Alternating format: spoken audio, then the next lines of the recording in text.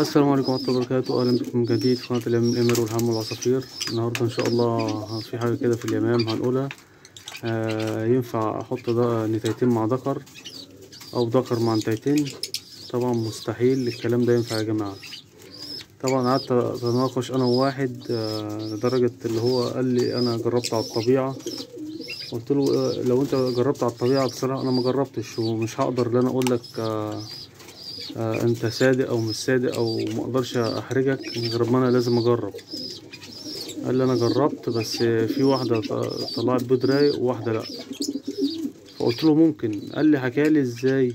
آه قال لي آه تانية اللي ت- الذكر كانوا نتايتين مع بعض.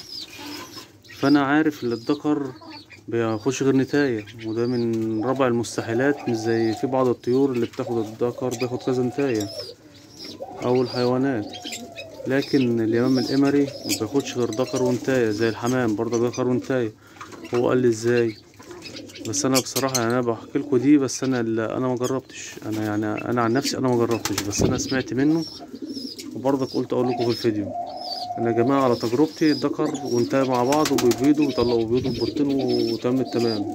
لكن ذكر وانتايتين دول ده يعني مستحيل. فهو قال لي قلت له ماشي أنا والله احكي لي وأنا هشوف. فهو قال لي أنا حطيت الذكر ومعاه نتايتين قال لي في مكان واسع بحيث اللي هو يعني زي قفص الكوكتيل ده. حط ذكر ونتايتين حط طاجنين. قال لي حطيت طاجن فوق وحطيت طاقة وحطيت طاجن تحت. وقال لي حطيت ظبطت القش فوق وظبطت القش تحت. الذكر طبعا زايف وخد نتاية وباض تمام التمام. لقيته بايض آه، بيضة كده على الجنب النتاية بيضة بيضة على الجنب. حط لها قش نقل الطاجن بتاعها وحط لها قش وبضت البيضتين وتمام التم ورقدت. والنتاية التانية بعيد طبعا. قال لي أنا كنت زمان عامل كده وكان عامل دورين. فبعد ما باضت وكده الدخر بيضان وزايف وزايف على أي نتاية. لقيته زاف على النتاية التانية وطلع معاها في العش وقعد ينادلها وكده. وبيقول لي أنا استغربت أنا عن يعني الراجل عن نفسه هو استغرب. بيقول لي أنا مش متوقع بس منها ما كانش عن- عندي مكان ليها. وقلت أجرب الذكر مع نتايتين لقيتها فعلا باضت بس بيضة طلعت آه، فيها كبس وبيضة طلعت إيه رايقة. دي آه، إحنا ما بنبصش على الكبس دلوقتي هنبص إزاي يعني؟ سبحان الله اللي هي إيه الذكر اتوفق مع نتايتين. قال لي جربها وقول لي. قلت له أنا بصراحة ما شاء الله أنا عندي عندي ذكورة وعندي نوتي شغالة وعندي مكان.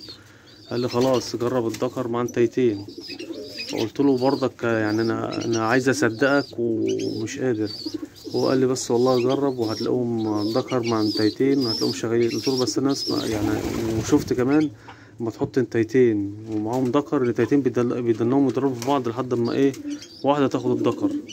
وتغير مثلا على الذكر بتاعها بتقعد تضرب في نتاية قال لي لا ما أنا هو ده اللي أنا كنت عامله اللي أنا مش سايبهم إيه أرضاوي كده هما الاتنين مع بعض. لا سايب عامل دورين وحاطط نتاية كانت ماسكة فوق ما بتنزلش والذكر والنتاية كانوا تحت. واللي هو كان بيزوف على الاتنين لحد ما إيه خد نتاية وبضت معاه. والتانية طبعا الذكر بيبقى زايف وحامي أصلا على طول الذكر. قال لي طلع النتاية التانية وقعد يندهلها ويبيض. قلت له والله أنا هجرب وأشوف. يعني هيشتغلوا ولا ما يشتغلوش ولا كده.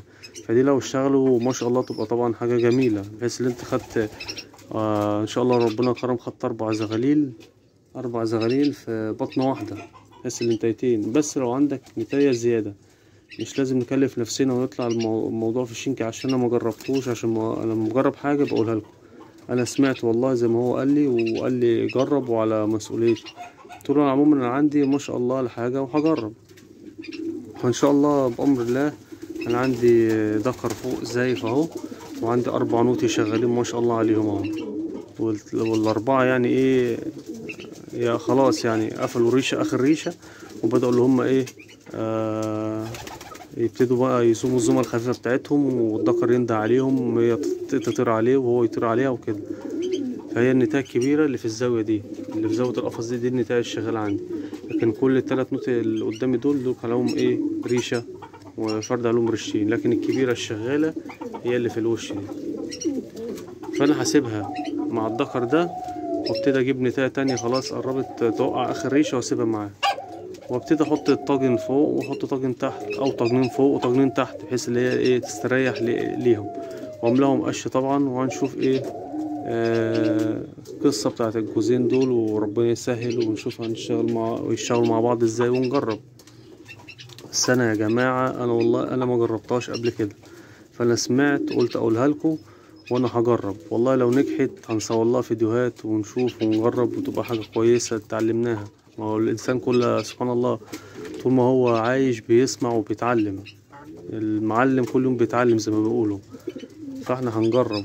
برضك إيه أنا أنا اللي هجرب بس لو لقيت نتاية تانية بصراحة مش هقدر إيه أكمل عشان مبقاش حرام عليا. هسيب له النتاية مثلا للشغالة اللي هو خدها اتجوزها وهسيب له إيه آه آه وهشيل النتاية التانية. طبعا دلوقتي برضك لاحظت حاجة بقالي تلات أربع أيام أنا الجزء اللي فوق ده كانوا بيض مرة والنتاية كلت البيض وكده والحمد لله إيه كله بقى تمام بس لسه ما فلاقي النتاية الشغالة على طول الذكر يزوف تلاقي قربت للقفص وعمالة تبصله كده وهو يزوف وهي تبصله في القفص.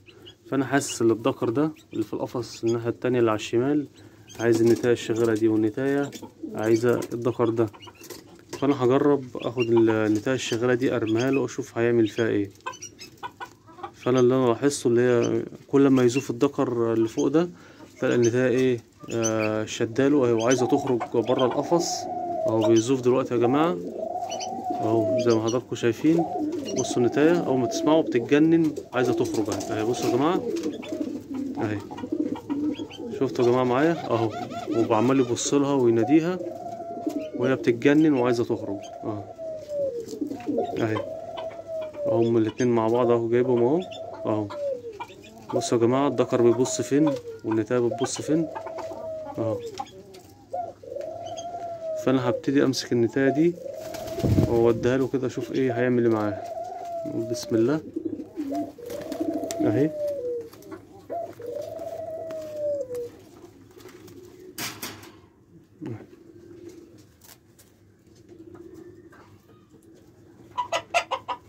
هبتدي أسقطها له جوه ونشوفها هتعمل إيه. ادي ذكر وانتيتين اهو. بس أنا مش هجرب الذكر وانتيتين في القفص ده طبعا عشان القفص ده ضيق مش هقدر. هو يا دوبك على قد جوز واحد. أنا حطيت له النتاية اللي بينده عليها وهي بتقعد تبص له وت... يعني إيه وتبقى زايفة في القفص زيه وبتبقى عايزة تخرج له أهو.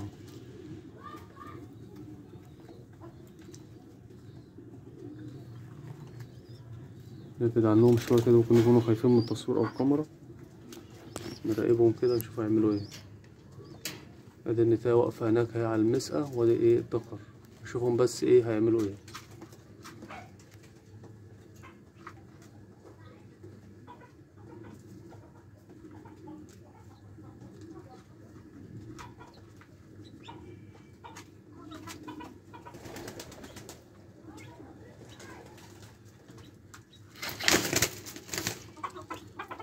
طب ترجع لموضوعنا نشوف هما مثلا هنجربهم ونجيب قفص كبير وهنبتدي نحط الذكر والنتايتين وهجرب أنا ومتقلقوش مش هسيبكم أنتوا تجربوا. هجرب أنا ونشوف النتيجة مع بعض. برضك هنصور باستمرار نشوف الذكر هيعمل إيه مع النتايتين أو النتايتين هتعمل مع الذكر أو النتايتين هتعمل إيه مع بعض. نشوفهم برضك وإيه ونجرب. في كان صديق صديق ليا أنا كان منزل كنت أنا منزل فيديو النهارده يا جماعة. كان بيقول لي كان كاتب لي في تعليق ويا رب يكون لما انزل الفيديو ده يسمعني أو يتفرج عليه. بيقول لي الذكر عندي ما بيكسرش أعمل إيه؟ الذكر دلوقتي ما كسرش في سببين ويمكن ثلاث أسباب كمان. لو الذكر مكسرش يبقى في ثلاث أسباب. أول حاجة آه لا إما الذكر شاب وصغير طبعا عمره ما يزوف ولا يكسر تاني حاجة ممكن يكون في مشكلة تعبان أو كمشان أو أي حاجة عيان يعني. وتالت حاجة ممكن يكون مشقوف. طالما مشقوف يا جماعة أو معضب من صدره بيبقى ضعيف جدا وما بيزوفش ولا بيكسر ولا أي حاجة. دول التلات أسباب يعني الأغلبية اللي يكون فيها الذكر ما بيكسرش. أو النتاية بقى تكون قدامه ممكن تكون برضك النتاية لا إما شابة لا اما النتاية عيانة.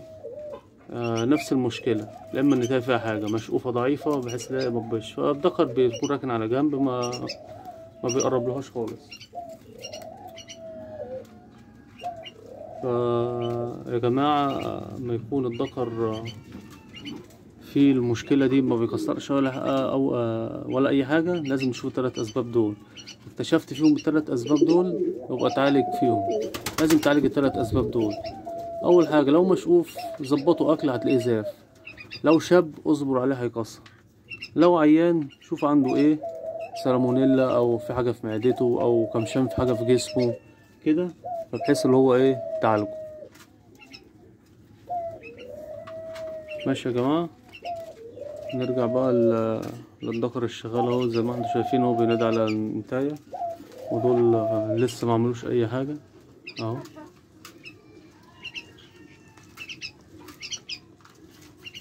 هنشوفهم برضك مع بعض ونصور إيه لو في أي جديد فيهم. ما تنسوش اللايك والشير والاشتراك في القناة ليوصل كل جديد. شكرا ليكم والسلام عليكم ورحمة الله وبركاته.